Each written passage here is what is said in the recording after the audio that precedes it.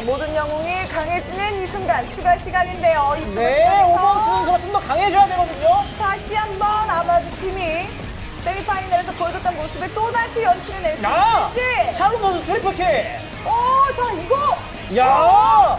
궁극기를 어? 안 쓰고 triple kill을 했다는 게 중요해요. 이걸, 이걸 이거죠. 해냅니다. 전진 수비를 준비하고 있는 아마즈 팀.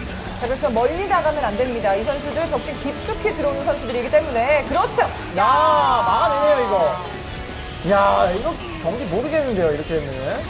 자, 샬롬 선수가 강해지는 추가 시간인데. 아, 정말 저 선수 얼굴밖에 안 떠요. 이상하게 추가 시간이 되면은 그 쿼드라키라는 거 보세요. 왜 저 선수의 얼굴만 뜨죠? 여기서 천천히 네. 제압을 해버리겠다는 거였나요? 킬이 계속해서 나오고 있어요. 잠시 추가 시간이에요. 방심하고 있는 이 틈을 타서 제? 샬롬! 아, 안 돼요, 샬롬 선수에게는. 추가 시간이거든요.